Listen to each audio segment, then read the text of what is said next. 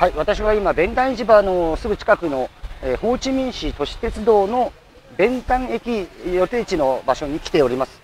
現在の様子を残しておきたいと思います。それでは行ってみましょう。はい、こちら、えーと、弁丹駅の周辺の地図です。えー、中央に見えます赤いものが、えー、弁丹市場えー、その前にロータリーがあったんですが、今、ロータリーのところまで工事が行われてますね。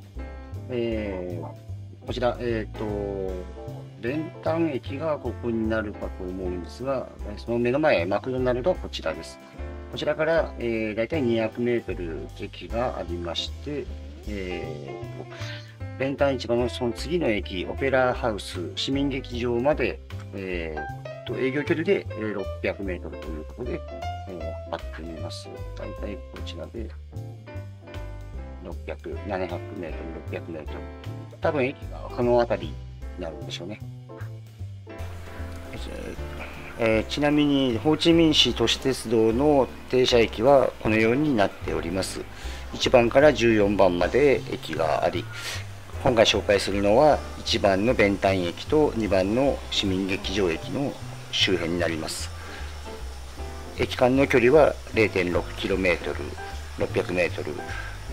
え、右側の数字は、えー、累計の距離ですね。はいそれでは、えー、周囲の様子見てみましょう。こちらの方、えー、赤いのマクドナルドです。えー、こちらは現在行き止まりになってしまっているのでバスなんかが止められているところになります。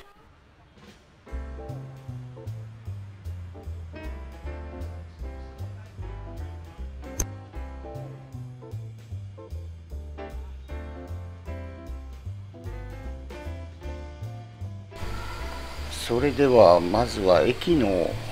周りをぐるっと回ってみたいと思います。こちらマクドナルドからスタートして、え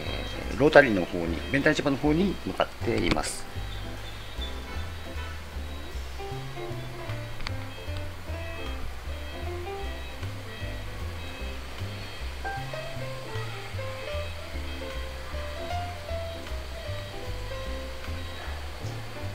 日本の国旗も見えますね。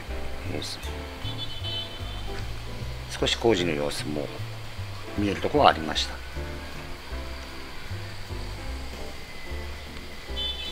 正面にあるのがビテクスコ68階建てのフィナンシャルビルです。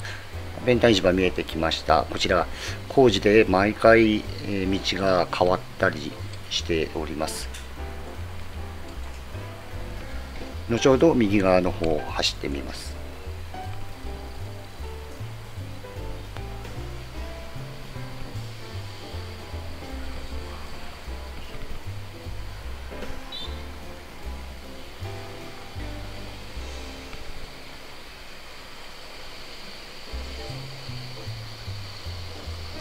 正面に見えますのがニューワールドホテルです。ちら駅のおそらく正面がこの辺りになるのではないかと思います。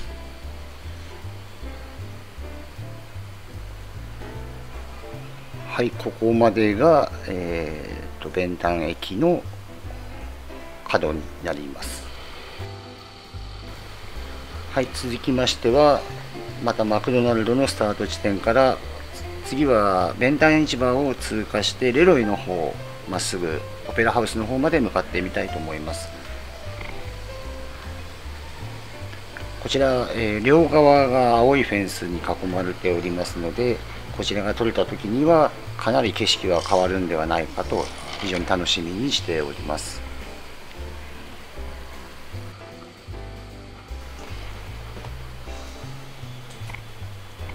はい、まもなく、えー、弁丹市場の前のロータリーがあった場所ですね。こちらを右側に曲がりますとレロイ通りなります。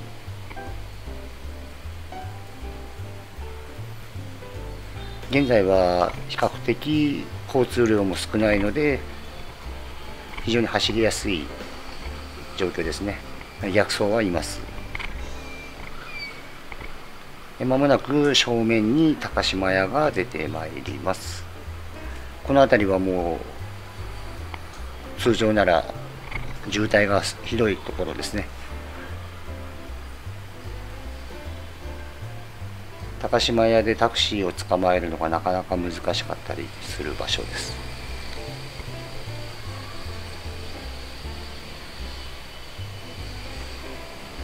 こちら奥にあるのはファハサ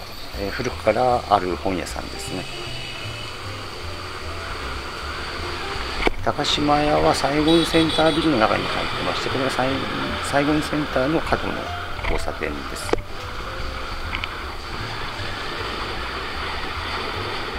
まもなく正面に見えますのがオペラハウス市民劇場こ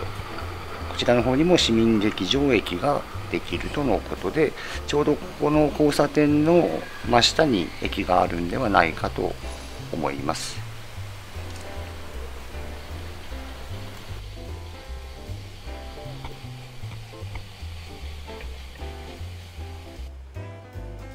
はい、えー、こちら劇場の前になります。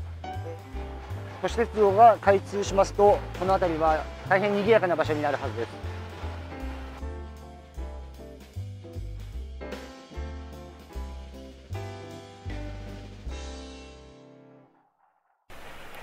今の時期は人も少なく快適ですねレンタル自転車なんかも乗ってる方多く見られます大通りの方では撮影してる方も何人かおられました。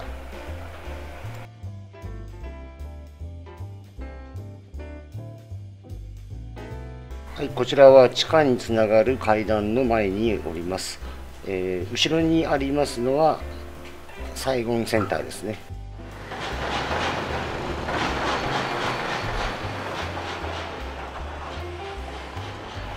はい、というわけで今回は弁丹駅の様子と市民劇場の様子をお送りいたしました。え、以上になります。